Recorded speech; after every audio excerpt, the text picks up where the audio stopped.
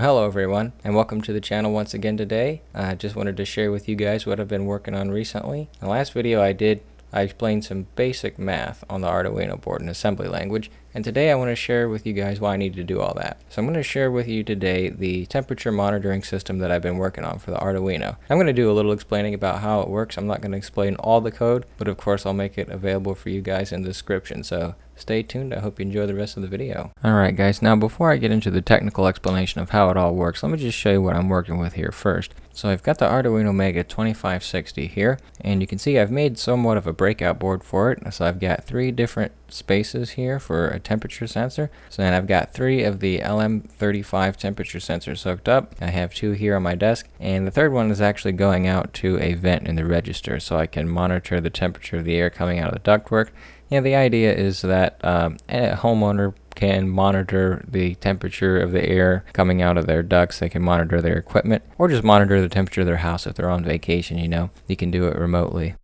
And like I said, you can view the temperatures remotely. I have a serial to Ethernet server. And yes, I am aware that you can buy an Ethernet shield for an Arduino, and I may do that at a later date, but for now, it's a Digi PortServer TS2. It's a serial to Ethernet server. And so we can see the temperatures anywhere in the world as long as we have internet access. The only thing you really need here is a telnet client. And as you can see, I'm using PuTTY. Uh, we just connect to dhcservice.com, port 2001 with telnet.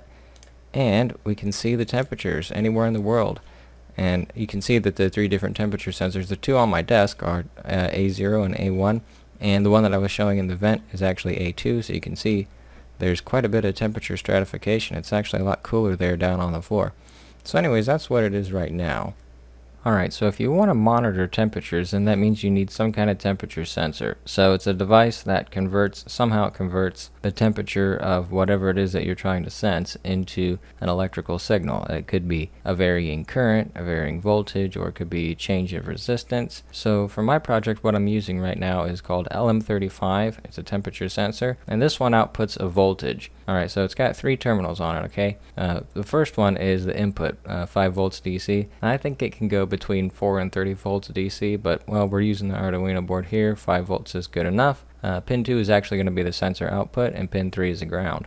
So the output's pretty straightforward here. It outputs 10 millivolts for every degree Celsius that it is. So let's say if it's 25 degrees Celsius, it's going to output 250 millivolts, or basically just 0.25 volts. So it's it's a pretty convenient, handy little temperature sensor. Okay, so connecting it to the Arduino is pretty easy and straightforward. You just connect the supply voltage terminal, that's pin 1, you connect it to the 5 volt output there on the Arduino. The ground just goes to the ground, self-explanatory, and the sensor output goes into the analog input. Now if you want to use more than one of these, you can do that. So your first one's going to go on A0, your second one's going to go on A1. If you want to use three, you put the third one on A2, and so on and so on. And I believe they said the Mega 2560, you can do 14 different analog inputs. I'm going to have to do a little bit more research on that, but just for this project right now, what I've got going is three. So we're just using A0, A1, and A2. Okay, so after you have your temperature sensors hooked up, now you're going to have to do some basic programming and some basic math. So the first thing that you're going to need to do is set up the analog to digital converter. Now before I go on any further, we're going to have to understand how an analog to digital converter works. And before we can do that, we need to understand a simple device called a comparator.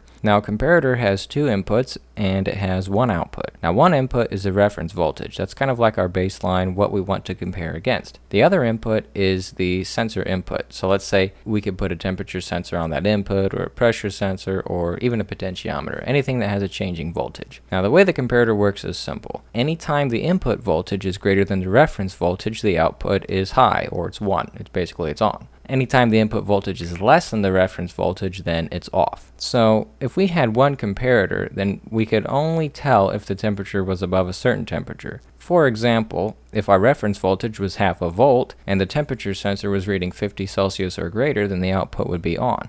If it was reading less than 50 Celsius, then the output would be off. That's a simple operation of a comparator. Alright, but imagine we had 8 comparators. Now if we have 8 comparators, we can tell what the temperature is in eight different increments. And this is similar to the way that an analog to digital converter works. It doesn't have eight individual increments, but it does have eight bits. So it can have a decimal value between 0 and 255. So we have 255 basically different degrees of measurement with our temperature sensor. But just like a comparator, the analog to digital converter has a reference voltage. And this is going to be critical to your programming and the math that you're going to have to do to get the right result. The reason that we have to do some math here is because that the analog to digital converter doesn't work in a very straightforward way. So ideally, if our temperature sensor was reading 25 Celsius, the analog to digital converter would just have a value in it that was 25. But unfortunately, it doesn't work this way. So if you read the Arduino datasheet, it tells you that the analog to digital converter works like this. The number that's going to be in the analog to digital converter register is equal to the voltage input at the analog input pin multiplied by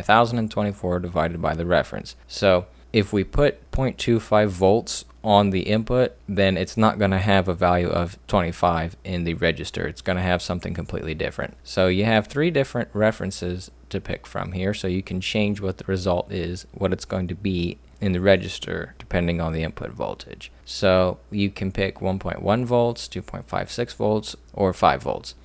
So just to give you uh, an example here, let's say that your input was 25 degrees Celsius. That would be 0.25 volts. So if you pick the 5 volt reference, the answer, the final answer would be 51.2, and that's not 25 degrees Celsius. Now to divide that down to 25, we'd have to do uh, a number with a fraction or a decimal point, and we don't want that. To do the best kind of programming, the simplest, we want to use an integer. But if you pick 2.56 volts as a reference, then we can use an integer. So let me give you an example. If we did 25 degrees Celsius, it'd be 0.25 multiplied by 1024 divide that by 2.56, it comes out to 100. Now we can just simply divide 100 by 4 and we can get the right answer to be in the register and we don't have to do anything else. So for the sake of simplicity, I picked a 2.56 volt reference.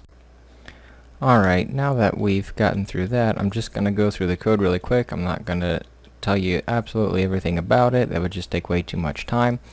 So let's just get started here. So the first line here, we're just setting up the CPU frequency, where the program begins, and we'll see message 1 right here and this is what you want to go along with your first sensor reading. So whatever you could you can make that uh, whatever room temperature you can make that outdoor temperature wherever you put your temperature sensor that's up to you. Same with message 2 and message 3 so those are just the messages. Now stack set the only thing that does is set up our call stack. Uh, USART init it initializes the serial port so it can send those messages out. Uh, yeah, set baud, that should be pretty obvious. It sets up the zero ports baud rate. Uh, ADC set, this is where the analog to digital converter is set up. It just enables it. And I chose a, a lower frequency divider. Uh, so I wanted to make the analog to digital converter go slower. I found that when it was at its highest setting, uh, it actually kind of messed up the results. Now sensor 1 here, 2, and 3 are where the important things happen here. So the first thing is it just moves an indexing register to the first message and then call print. And print, obviously the print routine, it just prints, it just displays the message on the screen. But right here is where the code is sent to change the channel number. So the first one is going to read from A0. So obviously we, want we want to read from sensor 1, we need to select A0. And this is the right code to get to A0. And then it sends it to the ADMUX register which controls which channel it's on. So it's all available in the um, data sheet, the uh, Atmel Mega 2560 data sheet. It, will tell you the numbers that you need to put in, but just for quick reference, this just gets to A0. And then what happens is it calls the routine top. And in top, it takes a value in from analog to digital lower and higher byte. Now this is actually a 10-bit analog to digital converter, but we're only using the lower byte it's it's kind of complicated to explain, but we don't really need the higher byte anyways. We're not going to get too accurate. We're only going to be accurate to the whole degree. So interestingly enough, after you change the channel from A0 to A1, or in fact from any channel to the next, the first result gets a little bit messed up, so you have to discard the first result. Now after you do that, you can finally get the information in from the analog to digital converter and put it in, I'm using the register R18 here. After that, the only thing that happens is, like I said, is the math happens. So we need to divide it by 4 to get the right number. And that's what happens here. My last video was the division by subtraction on the Arduino. That's what's happening right here at Math 4.1. That's just division by subtraction.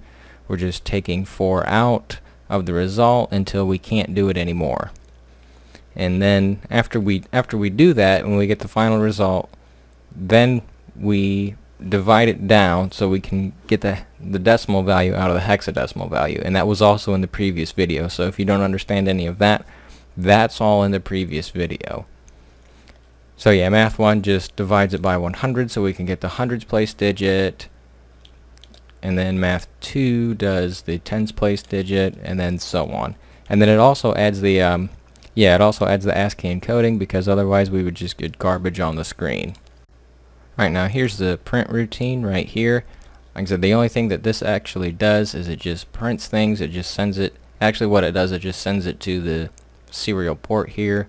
You can see STS UDR0, that's USART data register 0. That's all it does. It just sends it one at a time and it loops until it's printed all the characters. Uh, new line here, it just makes a new line on the screen. It also sends carriage return. Uh, clear screen actually clears it all out because otherwise it would just keep making new lines and what we don't want that we just want three lines. So we just tell the terminal program to clear that out and make only three lines.